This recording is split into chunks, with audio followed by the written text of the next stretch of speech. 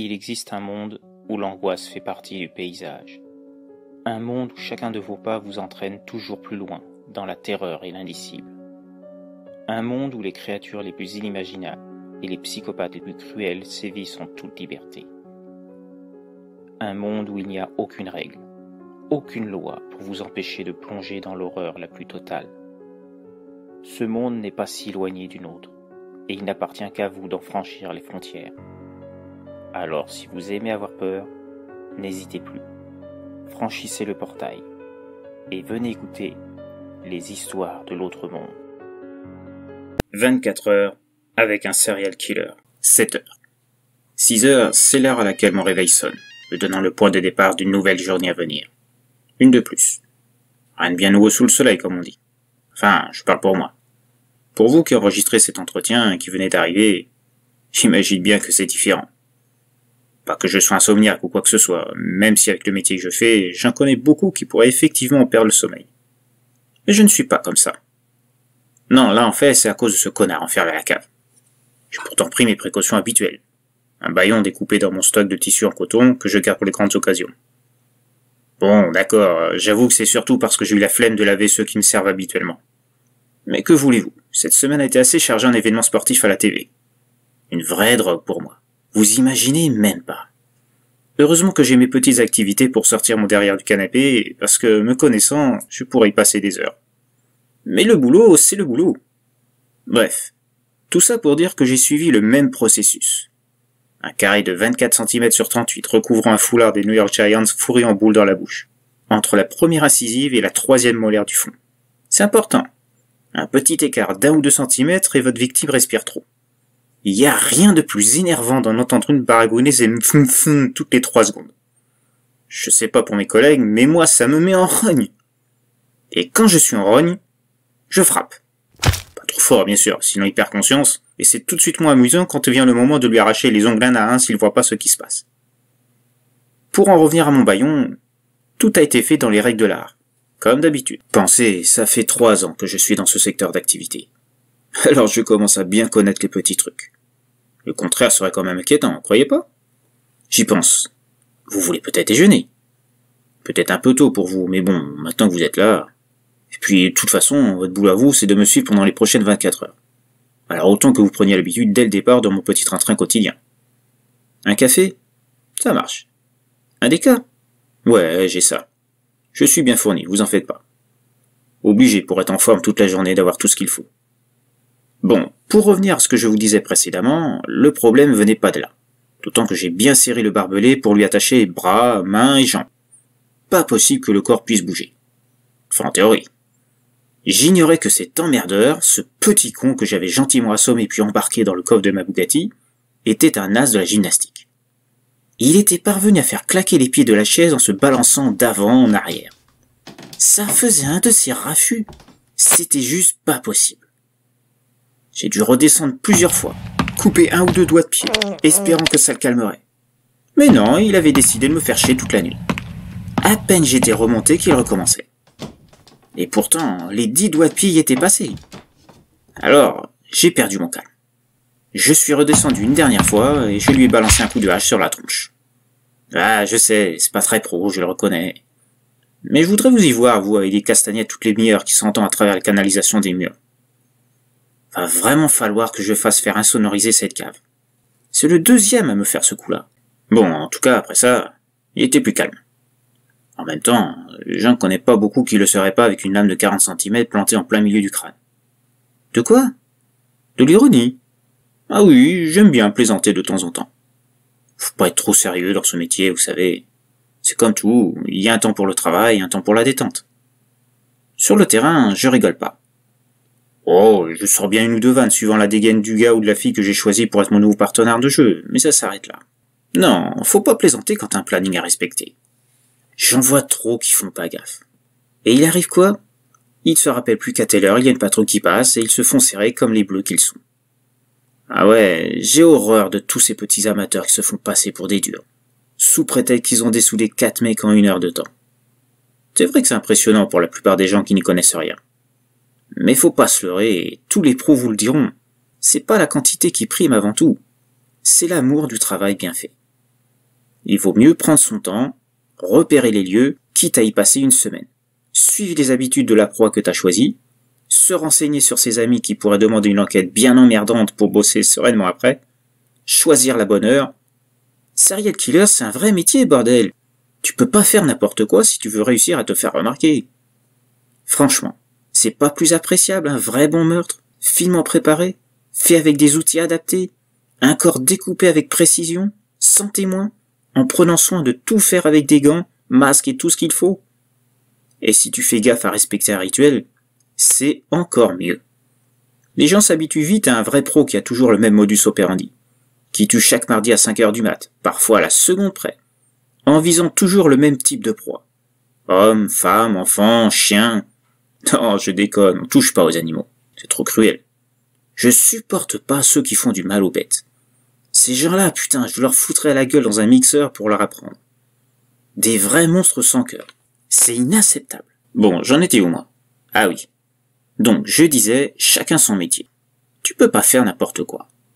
Tous ces petits merdeux qui respectent rien en charcutant un gars au hasard, laissant un max d'empreintes, qui se font choper deux jours après parce qu'en plus, ils opèrent sans cacher leur visage, sans faire gaffe où sont situées les caméras de surveillance. Des amateurs. C'est rien de plus. Et ça fait du mal à la profession, moi je vous le dis. C'est comme l'autre, là, le Night Stalker. Putain, mais quel con ce mec J'obéis à Satan. Je tue quand ça me chante. J'ai pas de préférence pour mes victimes. Mais bordel, c'était quoi ce discours à la mort moelleux Lui, il a fait du mal à notre métier.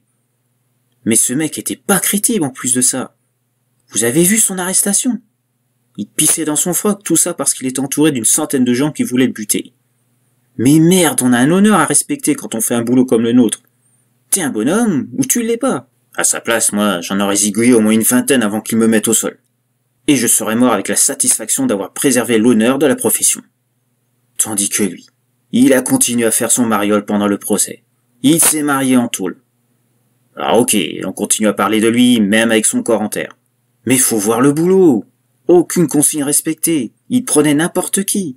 Il piquait des bagnoles et se garait pile poil devant l'endroit où il officiait, sans se poser la question si quelqu'un allait pas le remarquer par la suite. Purée, et ça se prétendait tueur. C'était juste un de ces putains d'amateurs. C'était tout ce que c'était. Quand je vois le culte qu'on lui voue toujours aujourd'hui, ça me rend malade. Parlez-moi plutôt de Jack l'éventreur, le fils de Sam, le Zodiac, Edgar et j'en passe. Ça, c'était des bons. Des vrais de vrais. Des modèles. Ils savaient y faire, eux. Méthodiques, discrets, s'arrangeant toujours pour qu'on sache que c'était eux les auteurs, et pas un autre, grâce à des rituels étudiés avec classe. Rien que d'y penser, j'en ai la larme à l'œil. Qu'est-ce que j'aurais aimé les rencontrer, assister à leurs œuvres d'art, ou bien qu'ils m'offrent un de leurs trophées. Ah, celui-là, vous pouvez être sûr que je l'aurais gardé précieusement. Il aurait eu droit à une place d'honneur à la maison. Non, pas à la vue de tout le monde, évidemment. Il y a encore beaucoup de gens qui comprennent pas notre art de nos jours. Qui ne comprennent pas qu'on est comme des peintres, fignolant des tableaux avec l'amour du travail bien fait. Bon, moi je suis pas un visuel. J'expose pas à l'extérieur. Je suis plus du genre casanier. Et puis, j'aime bien jouer aussi, je vous l'ai déjà dit. Je préfère éviter chez moi. Prendre mon temps. Réfléchir aux activités à faire. C'est ma manière de faire. Mais vous allez avoir tout le temps de comprendre au cours de la journée. 8h12. Bon, maintenant que la pause déjeuner est passée, je vais vous montrer un peu plus comment se passe ma journée. Et au risque de vous surprendre, j'ai une méthode moderne d'opérer. Entendez par là que j'utilise les outils d'aujourd'hui. Bon, ça fait que 5 ans que je bosse dans le métier en même temps. Je fais partie de la nouvelle génération. Aujourd'hui, avec Internet, on bosse mieux qu'il y a 20 ans.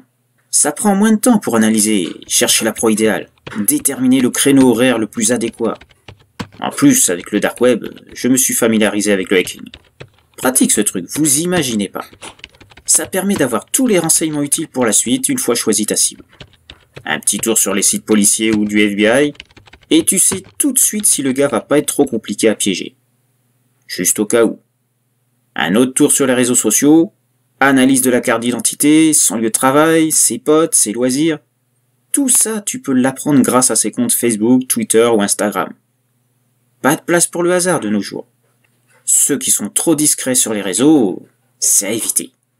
Trop risqué, sans tout connaître sur eux. Tu peux pas te lancer tête baissée dans la rue, suivre ton objectif et attendre le meilleur moment. Non, franchement, à part les débutants, plus personne opère comme ça. Ouais, c'est vrai, les grands noms, Casey, Demer, les autres, ils ont commencé de cette manière. Mais ils n'avaient pas à disposition ce qu'on a aujourd'hui. C'est même pas comparable. Bon, ok. Alors tu vois là, ce gars. Ça fait une semaine que je suis son parcours. Petit branleur qui se pâme sur Insta en calbute avec ses nouvelles conquêtes. Une merde qui hésite pas à balancer sur les petits secrets de ses meufs dès qu'il en a l'occasion. Tu sais combien de fils il a pratiquement envoyé en mode dépression? Putain mec, tu imagines même pas le nombre, c'est affolant. Ouais, c'est ça mes cibles. Les connards qui respectent pas les sentiments des femmes, je peux pas les plairer. Tu dis? Si c'est mes uniques cibles Non, pas seulement. Faut savoir se diversifier de nos jours. Sinon tu t'engages vite dans la routine, et c'est là que ça peut être dangereux pour toi si tu fais pas gaffe. Tellement habitué à tes petites manies que tu manques de prudence. Ça aussi c'est important. Toujours penser à tout. Et surtout, faire à chaque fois comme si c'était la première fois. C'est le meilleur moyen de pas faire d'erreur. Dans le métier, ça peut être fatal. Bon, pour revenir au mes deux, là, on va dire que c'est le genre de cible que je cible en priorité. Pourquoi? Ah, là on touche une corde sensible. Mais t'es là pour ça en même temps. C'est à cause de ma sœur. Elle a été la victime d'un de ces petits cons qui prennent les femmes pour des jouets. Une sorte de vengeance? Ouais, on peut dire ça comme ça, mais pas seulement. D'un point de vue général, c'est ma nature de pas aimer les merdes comme lui. Et les friqués qui profitent de leur compte en banque pour prostituer des pauvres filles perdues. Qui ont pas plus de 15 ou 16 ans, quand c'est pas moins. Voir les faire plonger dans la drogue et compagnie. Putain, mec, si tu savais comme je les hais, ces gars-là. J'en ai un comme ça le mois dernier. Vu comment il était protégé, ça a été complexe de trouver la bonne méthode. Alors, je l'ai appâté en lui faisant croire que je pouvais lui fournir des filles, et en me fabriquant une fausse identité sur les réseaux cachés du web. Après, ça a été un jeu d'enfant. Dès qu'il est entré dans ma voiture, c'était fini pour lui. Une voiture de location, bien sûr, louée par correspondance. Le pied que ça a été de le torturer. J'ai commencé par la langue. Je l'ai découpé par petits bouts en prenant bien soin de lui montrer chaque morceau au fur et à mesure. Après, je lui ai écorché les bras avec une âme rouillée pour faire durer le plaisir. Rien que d'y repenser, j'en ai des frissons de plaisir. Mais je m'égare. Bon, tu vois la petite merde là, Steven, le BG, il a ses habitudes, à voir les nombreuses photos qu'il pose sur Insta. Il va souvent à un club de striptease. Tu vois la personnalité? Il drague à outrance, et en plus il amène ses conquêtes dans ce type de club. Aucun brin d'empathie ou d'éthique pour les pauvres filles qui sont tombées dans son filet je vais me faire un de ces plaisirs à m'occuper de lui. Bon, ce club, il en sort chaque soir aux alentours de deux heures du mat. Ça, je le sais par les caméras de surveillance du quartier. Ah non, ça par contre, je peux pas te dire comment je les ai hackés. Secret professionnel. Tu peux comprendre ça. Si on sait comment je fais, la sécurité du matériel va être renforcée, et ça va me faire perdre du temps pour forcer les barrages informatiques, pour briser le nouveau protocole de protection pour me servir des images à nouveau. Bon, maintenant, viens avec moi. On va se rendre sur place pour mieux déterminer où le choper cette nuit. Alors voilà, on y est. C'est ce bar-là. Le temple du foutre dans toute sa splendeur. Si je pouvais, je buterais tous les dirigeants. Mais il faut savoir être raisonnable. Ça viendra un jour. De quoi? Si je me considère comme un justicier. Mec, tu rigoles là. Tu trouves que je ressemble à Haro Tu veux que je prenne un arc et des flèches aussi? Non mais soyons sérieux. Quand j'ai débuté, j'ai aussi pris la vie de mec qui avait rien fait. J'étais jeune en même temps, et je cherchais un sens à ce que je faisais. Tous les grands noms sont passés par là. Je connais pas mal de collègues qui sont comme ça, je suis pas toujours d'accord sur leur choix, mais bon, chacun son truc. Chacun sa méthode. On a tous des goûts différents, des jeux différents. Tant qu'ils me font pas chier et qu'ils me font pas de l'ombre dans mon secteur, pas de soucis. Quoi? Évidemment qu'on se connaît dans le métier, pas tous, bien sûr. Certains sont assez taciturnes. La relation intercollègue, c'est pas leur truc. Par contre, même si ça nous arrive de communiquer entre nous, on a une règle. Jamais de sortie commune. Pour des raisons évidentes. Surtout que si nos méthodes d'investigation ont évolué, celles des flics aussi. Je te l'ai déjà dit, pas de place pour le hasard. 11h22. Bon, tu vois la petite ruelle là? Je sais que vers une heure, mon futur jouet a l'habitude de s'y rendre pour fumer son joint à la con. Ouais, la drogue et moi, on n'est pas copains. Te méprends pas, j'ai rien contre. De temps en temps, une petite ligne, purée, ça te libère le cerveau, c'est extra. Tu devrais essayer, t'as l'air un peu coincé, je trouve. Mais il faut que ça soit de la qualité. De nos jours, il y a trop de contrefaçons qui te ravagent la tête plus que tu ressens du plaisir. Bon, pour revenir à la ruelle, il y a juste un lampadaire qui l'éclaire. Il suffira de venir une petite heure avant, un petit jet de ferraille balancé au lance-pierre sur l'ampoule, et le décor sera posé. Plus qu'à attendre la sortie de la cible. Tu dis? Se cacher Bonne question. Eh, t'es pas si neuneux que je pensais. Il y a peu de cervelle grise qui fonctionne dans cette petite tête de binoclard. Ah, t'offusque pas, c'était pas méchant. Humour T'es vraiment trop coincé quand tu t'y mets. On se mettra derrière le conteneur à ordures au fond. Pour le reste des opérations, tu verras sur place. 12h14. Bon, maintenant que la phase observation est achevée, viens mec. On va aller becter un bout à mon snack préféré. C'est moi qui régale. Non, non, j'insiste. 13h21. Alors, c'était pas le top ce repas? Un peu ballonné? Ah, t'as pas souvent l'habitude de ce type de nourriture, je me trompe? Plus resto non? T'inquiète, ton estomac va vite s'habituer. Tu me rappelles un de mes invités il y a de ça quelques mois. Putain, le mec il arrêtait pas de me balancer d'épée à chaque fois que je lui enlevais un morceau de son corps. Une vraie infection. Obligé de mettre un masque pour continuer. Je sais pas si c'était le gars qui le composait qui faisait ça, mais purée, je peux pas oublier cette puanteur. Même un cadavre en putréfaction, il sentait meilleur, c'est pour dire. D'un autre côté, j'ai rarement découpé de la peau aussi facilement. Même pas besoin d'aiguiser la lame tellement ça s'enlevait facilement. Et pourtant, ça fait partie de mes rituels habituellement. Une lame bien aiguisée, rien de tel pour bosser peinard. Mais là, rien que pour trancher sa jambe droite, pour te donner un exemple, j'avais l'impression de couper du beurre, tellement ça a été facile d'atteindre l'os.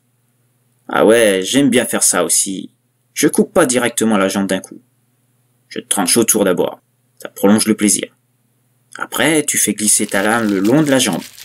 Le spectacle de la chair qui se soulève peu à peu, je connais rien de plus beau à voir. Après, il n'y a plus qu'à prendre la scie sauteuse pour couper l'os à nu. Doucement, sans précipitation, tout en observant le visage parsemé de douleur de ton joujou. Des fois, j'aime bien prendre les larmes qui coulent sur les joues. Je remine sur la langue et je savoure. Tu comprendras sûrement pas, mais c'est une sensation unique à ce moment. Un petit goût acidulé, le goût de la peur concentré en quelques millimètres, c'est esquis. Tu peux même pas imaginer. Rajouter un petit morceau de chair fraîchement coupé, mâché délicatement, sans se presser. Ah putain, c'est vraiment génial. Au moins aussi bon que les steaks qu'on a mangés tout à l'heure. Je t'ai dit qu'il était tenu par un collègue? Car ça pour toi, mais il fait les meilleurs hamburgers à la viande humaine de la ville. Ah ouais, c'est son truc à lui, ça. Il aime pas gaspiller. Ah bah non, bien sûr que personne connaît son secret. Part moi, bien sûr. Mais c'est différent. Lui et moi, ça fait des années qu'on se connaît. 16h54. Alors, il est pas extra ce magasin de fringues? Non, t'affole pas, t'as rien à débourser. C'est de ma faute. J'aurais dû t'annoncer le truc du hamburger d'une autre manière.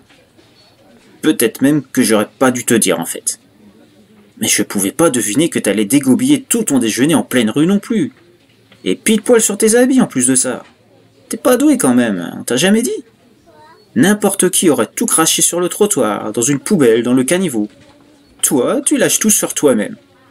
Bah allez, c'est pas grave, t'as pas à avoir honte, tu sais. C'est des trucs qui arrivent. Ok, alors, ça va mieux on dirait? Tu vois cette petite balade près de la rivière, ça t'a fait du bien. On respire ici, il faut dire. J'aime bien cet endroit. C'est là que j'enterre la plupart des restes de mes victimes. Dans la forêt, juste derrière. Là-bas, près du Grand Chêne, il y en a quatre. Un peu plus loin, juste à côté, j'en ai placé cinq autres. Les autres, ils sont tous près de la grotte, en plein cœur. 24 au total. Ouais, je sais, c'est pas énorme. Et comme je t'ai dit, je suis un artiste. Je prends mon temps pour choisir mes proies, et je prends mon temps aussi pour jouer avec, et découper en petits bouts. Les cuisiner aussi parfois. D'ailleurs, le bacon que t'as mangé ce matin avec ton café, je dois vraiment te dire sa provenance? 21h16. Tu sais que t'es le mec le plus maladroit que je connaisse. Se vomir dessus deux fois dans la même journée, fallait quand même le faire. Bon, allez, pour faire passer ça, on va aller boire un verre au club. On a encore le temps. Notre proie est pas encore arrivée, de toute façon. Logiquement, elle devrait arriver vers 22h30 s'il n'a pas changé ses habitudes. Mais connaissant ce type de raclure, il sera sûrement ponctuel. Je m'affole pas là-dessus. 22h49. Ouais, c'est bien lui. T'as l'œil, mon gars, c'est bien. C'est important dans notre métier d'avoir une bonne vue. Bon, toi, tu triches un peu avec tes lunettes. Mais il y en a d'autres comme toi, c'est un détail, ça. Allez, viens, on va aller profiter du spectacle. Autant joindre l'utile à l'agréable. Tu dis? Ah non, j'ai rien contre le club en lui-même. Voir tes nanas s'effeuiller en musique, euh, je mentirais si je disais que j'aime pas ça. Je suis un homme quand même. Non, ce que je blaire pas, c'est les mecs qui prostituent ces pauvres filles, comme je te l'ai déjà dit. S'ils se contentaient de les recueillir pour les faire bosser ici, ça irait. Tant qu'ils abusent pas d'elles en guise de remerciement. Je sais que c'est monnaie courant dans ce milieu. Pas tous, heureusement. Il y en a qui sont réglo. Prennent vraiment soin des filles qu'ils adoptent, comme ils disent. Elles dansent dans les clubs, elles font leur spectacle, et pour le reste, elles font leur vie comme tout le monde. Mais il y en a de moins en moins des patrons comme ça. La plupart sont des macros en puissance, qui se cachent derrière le système pourri de notre société pour faire leur business de prostitution, et se faire du blé sur leur dos, les menaçant de mort si elles tentent de dire quoi que ce soit, ou si elles se rebellent. C'est cela que je peux pas supporter. Minuit 34. Bon allez, c'est l'heure de se préparer. Viens, on va sortir discrètement pour se diriger vers la ruelle et se positionner, comme prévu. Quoi? Ah non, on peut pas attendre la fin du show de Darla. Petit coquin, va. Tu as bon goût, rien à dire. Mais là, il faut qu'on bosse maintenant. 2h26. Tu sais que tu m'as impressionné tout à l'heure, mec. Pour quelqu'un censé juste observer mon travail, tu t'es sacrément investi. Merci à toi. Ça m'a fait gagner un temps fou. Mais j'aurais jamais imaginé que tu avais un tel direct du droit. La tête de Steven quand il s'est mangé le pain dans la tronche. Et quand il s'est ramassé contre le mur avant de tomber que tu l'as lardé de coups au sol, putain mec, j'ai adoré. Première fois que j'ai rien à faire quasiment. Bon, au bout d'un moment, j'ai dû t'arrêter. T'aurais fini par le tuer plus tôt qu'il fallait. Et puis, c'est pas ma méthode. Comme tu sais, j'aime bien jouer avec mes victimes avant. C'est les cinq cocktails que t'as bu avant qui t'ont mis dans cet état? Tu devrais boire plus souvent. 3h17. Alors, monsieur Steve, on fait moins le malin maintenant. Tiens, mec, allume le caméscope. Je garde toujours des souvenirs de mes petites séances de jeu. Dis-moi, on commence par quoi? Les yeux? Non, trop classique. Et puis je veux qu'il voit son calvaire jusqu'au bout. Alors voyons, le nez, les oreilles. Tu dis, mec Lui découper les lèvres? Ouais, c'est bon ça. Décidément, t'es plein de surprises. Alors Steven, tu as écouté mon pote. On va commencer par t'enlever ces lèvres que tu aimes tant utiliser. Après, on va taillader tes bijoux de famille, en faire des lamelles, que tu mangeras. Ensuite, je vais te raboter les doigts jusqu'à l'os. Tu dis, mec, tu veux le faire Putain, t'es sûr que t'es le même journaliste binoclard de ce matin? Attention, c'est pas un reproche, bien au contraire. Je peux te dire que j'apprécie. Tiens, tu sais quoi? Je te laisse la lime, fais-toi plaisir. Je lui découperai les lèvres après. Je vois que tu meurs d'envie de commencer. 5h38. Eh bien, c'était une bonne journée. T'en penses quoi? Tu dis? Ah oui, Steve. Non, on va pas l'achever ce soir. On en garde pour les autres soirs. Faut pas abuser des bonnes choses, c'est ce que ma maman me disait toujours. Bon, bien sûr, elle parlait pas de ce domaine-là, tu t'en doutes. Mais c'est le même principe. En tout cas, tu m'as impressionné, mec. Je vais même t'avouer un truc. Au départ, j'avais prévu de te faire rejoindre Steve dans ma salle de jeu pour subir un sort analogue dans les jours à venir. Faut me comprendre. Quand tu m'as contacté il y a une semaine, je savais rien de toi. Je savais pas comment t'avais fait pour trouver l'adresse de mon blog sur le dark web. Autant la perspective de voir un reportage sur mon travail me bottait, autant la manière dont tu m'avais trouvé, avec le risque que tu en aies parlé à quelqu'un. Et puis, j'ai fait mes petites recherches. Et j'ai découvert que tu étais en freelance. Plutôt rassurant du coup pour moi. Alors, j'ai accepté ta proposition. En me disant que je pourrais toujours attendre que tu aies vendu ton reportage avant de revenir m'occuper de toi. Voire le vendre à ta place en usurpant ton identité. Rien de plus simple pour moi. Mais là, avec ce que tu as fait, tu m'as vraiment bluffé, mec. Et puis, je dois avouer que cette journée avec toi était très instructive. Je t'ai trouvé vraiment cool. Tu m'as fait rire aussi. Bref, j'ai changé d'avis j'ai décidé de te laisser en vie. Je sais maintenant que tu me dénonceras pas après coup. Ça serait stupide de ta part en plus, vu que tu étais mon complice tout du long. Et si tu veux repasser un soir tant que Steve vit encore, aucun souci. Tu seras le bienvenu. Et peut-être qu'on chassera à nouveau ensemble, qui sait? Ah, je vois ton sourire que tu n'es pas contre. C'est cool ça. Tu dis S'il me reste du bacon. Ah, mais autant que tu veux, mec. Je sens qu'on va vraiment bien s'entendre tous les deux.